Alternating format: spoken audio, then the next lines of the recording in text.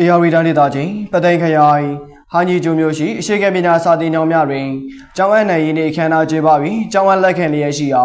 မိဘများမှကျောင်းသားကျောင်းသူများအားပျော်ရွှင်တက်ကြွစွာဖြင့်ယနေ့နေ့နဲ့9နာရီအချိန်မှစ၍လာရောက်ကျောင်းအပ်နှံနေကြကြောင်းသိရှိရပါတယ်။ထို့သောလာရောက်ကျောင်းအပ်နိုင်ရာတွင်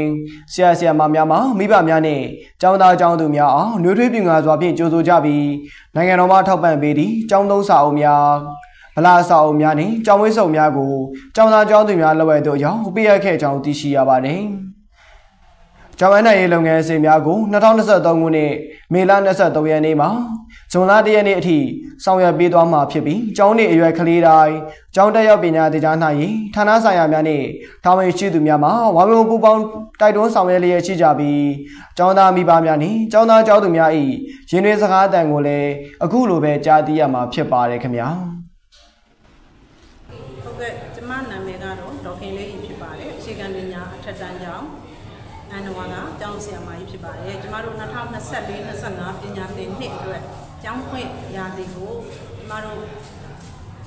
ကျောင်းအပ်နိုင်ရေးအစဉ်ပြေရှောင်းဝင်းစွာဆောင်ရွက်နိုင်ရေးအတွက်ကျမတို့ကျောင်းဝင်းထဲမှာရှိတဲ့အဆောင်အုပ်တွေကို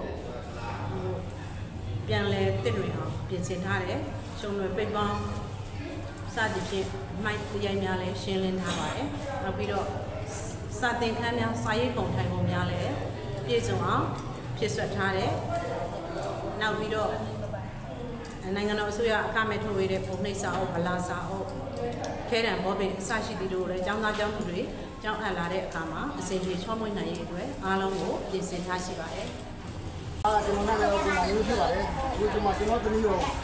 ဒီစေတော့အကြောင်းအဲ့ဒါခံဖြစ်ပါတယ်ကျွန်တော်မျိုးကျောင်းတော်ကြီးများကကျောင်းလာအဲ့ဖို့ဖိ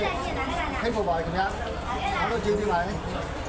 မင်္ဂလာပါခင်ဗျာတားနာမည်ကတော့မောင်ဝင်းရုပ်တုံးဖြစ်ပါတယ်ဒါကတော့ဒီနေ့မှာ G7 တက်ရောက်တင်ကြမှာဖြစ်ပါတယ်ပြီးတော့အကြောင်းဖွင့်ရင်တကယ်ချင်းနဲ့ပြန်တွေ့ရမှာဖြစ်လို့အရန်ပြောပါတယ်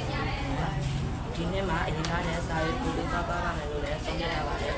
ဒါတို့လိုကျောင်းသားလူငယ်တွေအနေနဲ့စာသင်ခန်းတွေကိုအရောက်လာဖို့တိုက်တွန်းတိုက်တွန်းပြောကြလို့ရပါတယ်ခင်ဗျာ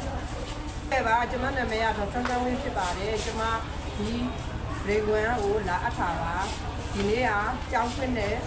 ကြောင်းအပ်တဲ့ရက်မို့လို့လာပြီးတော့မိဘတွေအားလုံးလာအပ်စေချင်ပါတယ်ကြောင်းသားအရွယ်